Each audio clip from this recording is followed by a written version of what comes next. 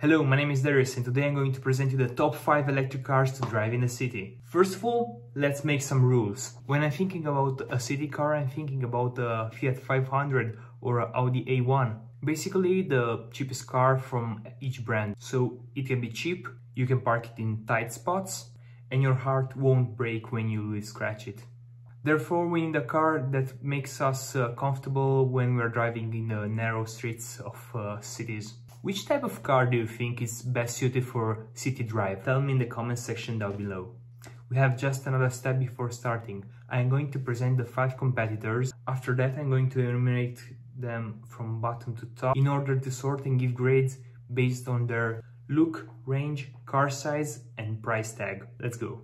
The Fiat 500e, starting from about 27,000 euros, is a car which is capable of traveling about uh, 250 kilometers in city conditions and about 200 combined. If you really like this car, I say it's better to pay another 4000 euros and get the Icon model, which brings you a bigger infotainment system of uh, 10 inches, Apple CarPlay, a bigger motor which uh, has 118 horsepower and a battery which can last for 400 kilometers in city conditions. It has a stylish interior with a digital cockpit and a nice steering wheel.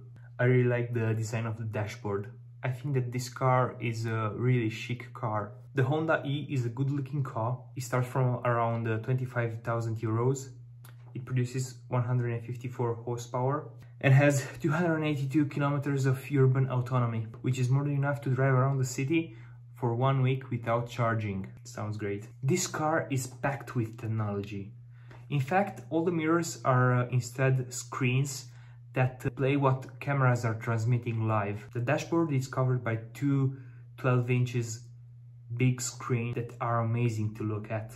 It sounds like the Honda E is uh, better in every single chapter. Starting from around the 30,000 euros, the French car, the Peugeot E208, it's pretty pricey and you'll get a 136 horsepower motor and about 400 kilometers of range in a single charge, which is more than enough.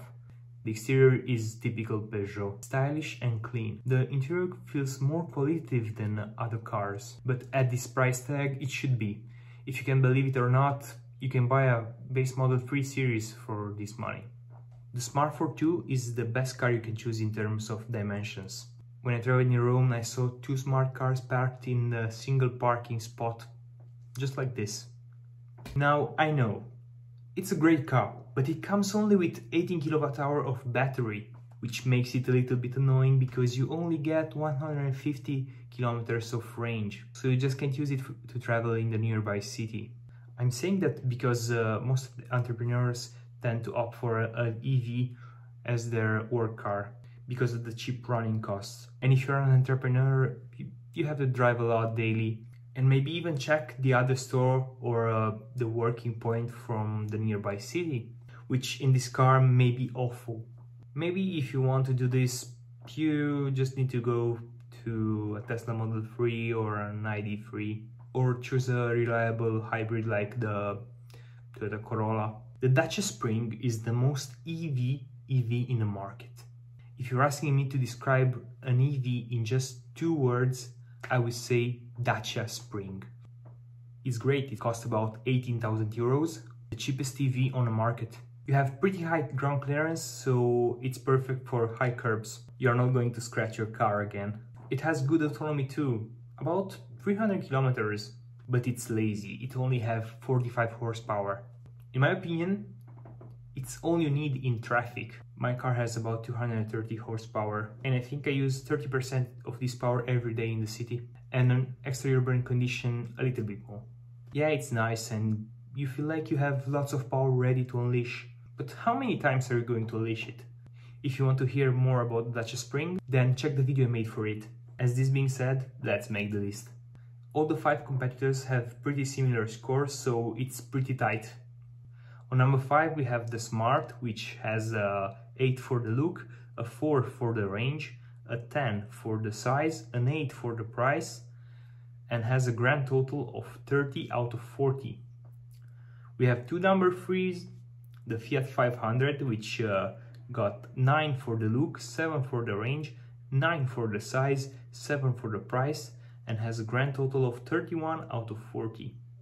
The Honda E, which has uh, 8 for the look, uh, 8 for the range, uh, 8 for the size, and uh, 7 for the price, which has a grand total of 31 out of 40. The Peugeot 208 got 9 for the look, 10 for the range, 9 for the size, 5 for the price, and gathered 32 points out of 40.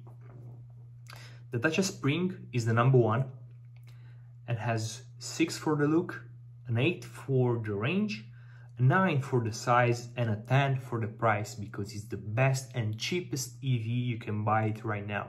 And this top says that all.